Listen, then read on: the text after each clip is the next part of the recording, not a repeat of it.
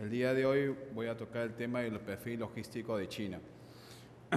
En primer lugar, el temario que vamos a ver va a ser la ubicación geográfica de China, la evolución de los indicadores logísticos de China. Esto viene a ser, existe el Banco, Banco Mundial estableció un tipo de indicador.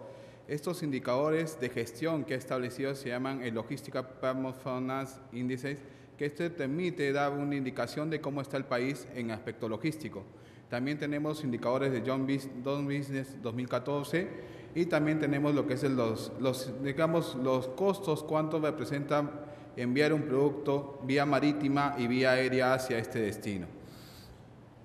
Si analizamos un poco este indicador de gestión de logística performance indicator, establece lo siguiente, que el Banco Mundial ha indicado que China está, en el ranking en el puesto 27 de entre 150 países.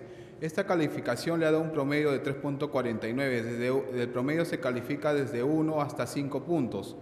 Está eh, ganando, esto ha aumentado desde el 2007 a 3 puestos más.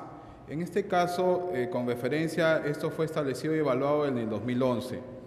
Si vemos un poco los indicadores haciendo un aspecto comparativo entre Perú y, digamos, China, vemos que China, digamos, en eficiencia aduanera está en el puesto 32.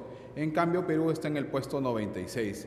En la calidad de infraestructura logística, si vemos, en este caso, China nos lleva bastante eh, en el aspecto de que está en el puesto 27 a comparación del Perú que está en el puesto 67.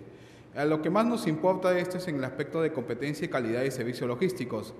China se ubica en el puesto 29 y nosotros nos ubicamos en el puesto 76.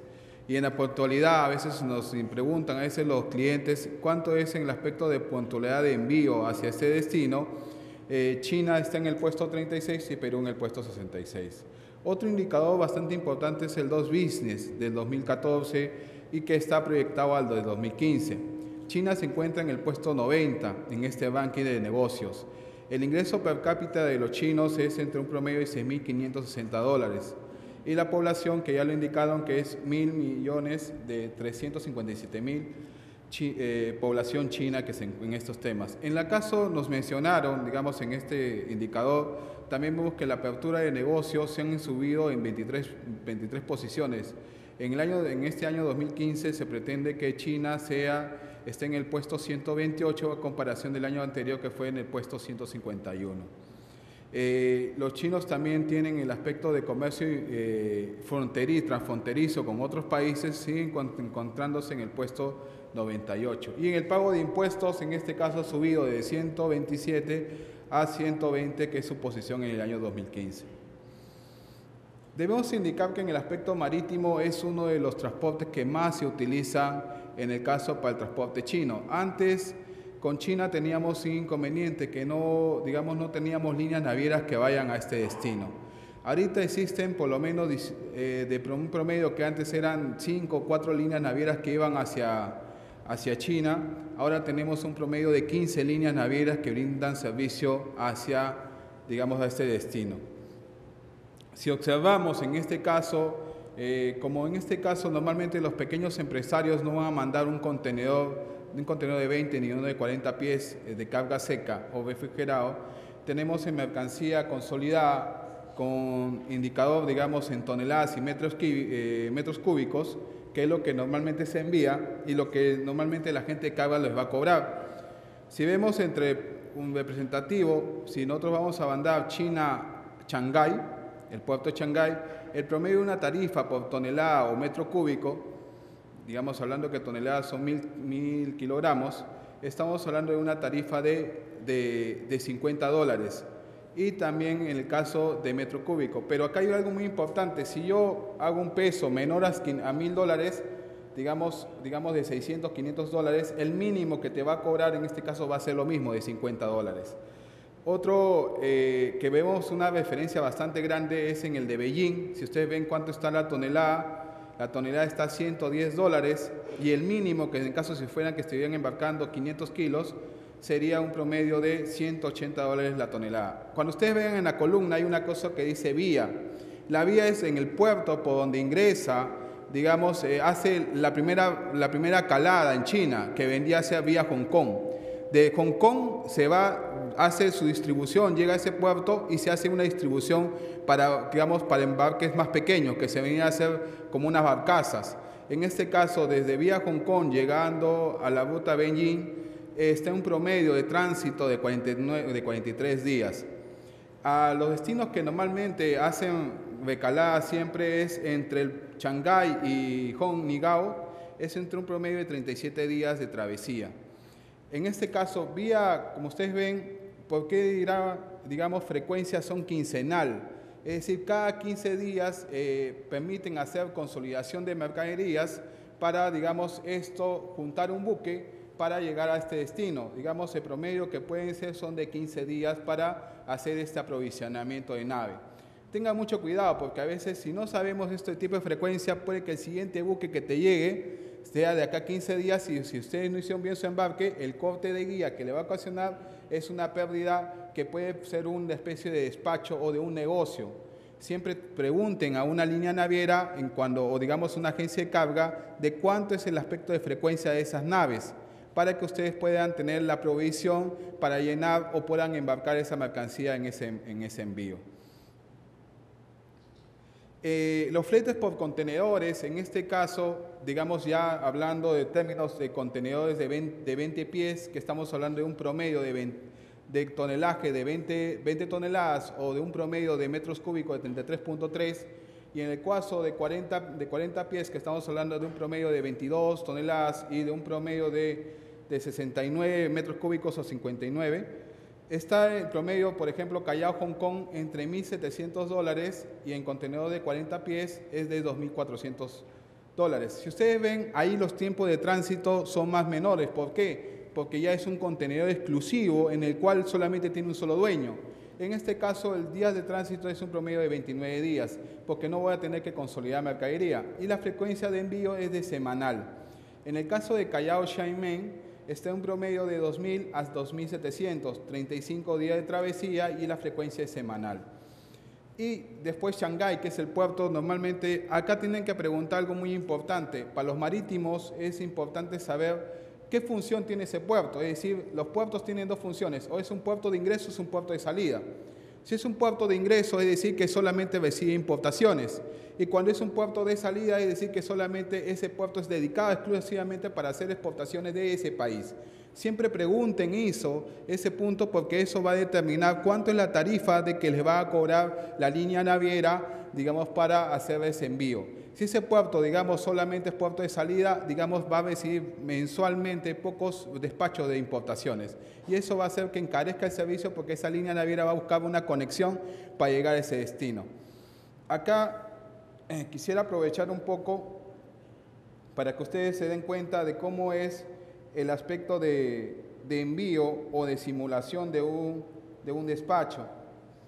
A ver si hay por aspecto de internet.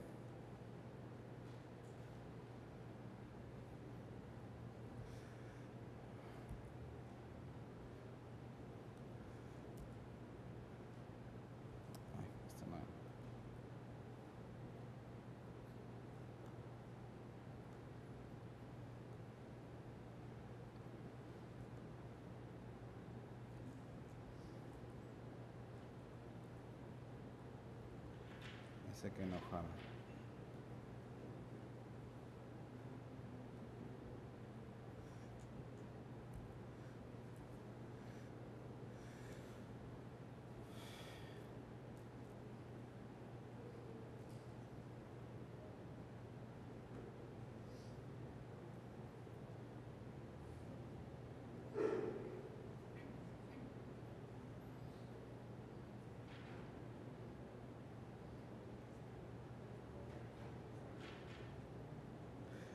Mire, si se dan cuenta, esa es una especie de simulación de cómo él, digamos, hacen los puertos de recalada por cada envío. Si ustedes, el primer puerto que va a caer es en el puerto de Tokio, después va al puerto de Keinlu en Taiwán, de ahí sube, como ven, es como una combi.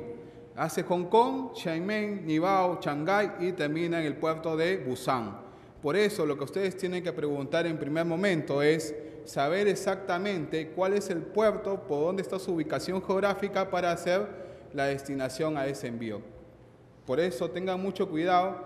Como ustedes ven, primero llega a Hong Kong, Yokohama, eh, Tokio, Yokohama, de ahí va Kenlu, que viene a ser Taiwán, de ahí va Hong Kong, que es el puerto de distribución enteramente chino. Por eso le digo, primero tiene que importar qué vía, si es vía Hong Kong. Y de ahí va a entrar, de llega a Hong Kong, se hace el aspecto de distribución, baja la mercadería y se hacen buques más chiquitos, que le llamamos buques feeder. Y de va a Changben, Nigao, Shanghai, Busan. Eso tienen que conocer para que conocer le pregunten por qué la demora. Porque cada buque tiene un aspecto de distribución, digamos, dentro del país. Esto le quería mostrar. Esto está en nuestro simulador. Nosotros tenemos un simulador de rutas marítimas que utilizamos para que la gente se dé cuenta exactamente de cómo es la secuencia de su transporte internacional. Y en este caso quería mostrarles lo que viene a ser lo que es la ruta aérea Perú-China. En Perú-China, si ustedes, el puerto del aeropuerto que le he destinado en este caso Lima-Beijing, utilizamos una aerolínea que es United Airlines, que el promedio de tránsito son de 27 horas y 15 minutos. El tiempo de espera, normalmente por cada escalada son, digamos, que tenga que esperar ahí en el aeropuerto, cumpliendo con este plazo, sería un promedio de dos días. La frecuencia, de, digamos, de salidas son diarias y la ruta que ustedes van a afrontar es la siguiente, Lima, Nueva York, Nueva York, Washington, Washington, Beijing. Y en el caso del otro, otro, otra aerolínea que también brinda ese servicio es Delta es de Lima a Beijing, son 49 horas, el tiempo de espera o de escala es de dos días y la frecuencia de salida en este caso es de es diaria y la ruta que ustedes van a afrontar es Lima, Atlanta, Detroit y Beijing. Entonces tengan en consideración esos aspectos para, digamos, establecer sus escaladas dentro de, de su viaje hacia esos destinos. Y siempre pregunten, en el caso aéreo, digamos, cuáles son mis escalas, porque acá hay algo muy importante. Cuando ustedes vean Lima, Nueva York, Washington, ese tipo, su, mercancía va a estar en tránsito en ese país. Entonces, ¿qué le va a pedir Estados Unidos? Un FDA en tránsito para que pueda ingresar. Y eso puede ser que su, producto no le hayan destinado, no hayan tomado en cuenta ese tránsito en el medio. Y puede que su mercancía se quede enteramente confiscada o incautada hasta que no consigan ese documento con el FDA de Estados Unidos. Siempre me gusta, como, como digamos, como logístico, siempre establecer la ruta, porque si no establece la ruta, el problema principal es por dónde, por dónde voy a tener que establecer y quiénes son mis países que van a hacer las conexiones. Si en ese país tengo algún aspecto de restricción, puede que ocasione un problema en mi despacho y no pueda llegar. Ya a nosotros nos ha pasado varias veces que tienen ese inconveniente. Y por último, en este caso, para mí, como la parte logística, las tarifas promedio de costos logísticos. Los gastos de origen aproximadamente están en promedio de 150 dólares. La tarifa básica por kilo, acuérdense que en caso marítimo era por tonelada. En el caso aéreo es por kilo o por centímetro cúbico. Estos están cobrando es un promedio entre 4.50 dólares o 6.50, dependiendo la línea aerolínea. Los riesgos de guerra si digamos por el aspecto de tomarlo en cuenta 0.15 dólares por kilo, que es variable, el combustible debe ser también 0.10 por kilo, el impuesto del aeropuerto que viene a ser, usted le van a nombrar el uso del aeropuerto, que es el UA, que les cobran entre un promedio de 1.28 por kilo, y el consolidado, que viene a ser agrupar la mercancía en uno solo y por guía, les van a cobrar, esa es una tarifa fija, entre un promedio de 20 dólares. Los gastos locales que le va a cobrar todo agente carga son los recargos de seguridad 10 dólares más IGB, la guía aérea por embarque fijo 35 dólares más IGB, la transmisión, ¿qué, es la transmisión de aduanas? Es mandar la información, el agente carga tiene la obligación de mandar la información a la administración aduanera y este le invita que ya se está creando un manifiesto. Un manifiesto es un documento en donde se da un listado de todas las mercancías que se están embarcando por esa guía. Y también están los trámites documentarios, que es un promedio de 50 dólares más guía, y los vistos buenos que normalmente les cobra por, digamos, hacer estos trámites, entre un promedio de 35 dólares más IGB. Esta es la información que deben conocer en la parte logística. Tienen que conocer uno, saber por dónde van a ir su mercancía a la ruta. Tienen que saber cuántos son sus costos, cuánto es la frecuencia de salida de su mercadería. Si conocen eso, van a poder no tener inconvenientes y preguntar algo principal, que esto lo hacer mi, mi amigo Iván Serpa, va a decirle qué requisitos de ingreso voy a tener que pasar por cada punto, porque ahí están los requisitos en tránsito de la mercancía. Tengan mucha incorporación, pregunten, porque eso le va, va a ser un beneficio o va a ser un éxito en su despacho. Bueno, sin más que decirles, ahí está mi dirección, mi mail, digamos, en donde pueden comunicarse y podría darle más información al respecto sobre este país que es China para que usted lo pueda apoyar.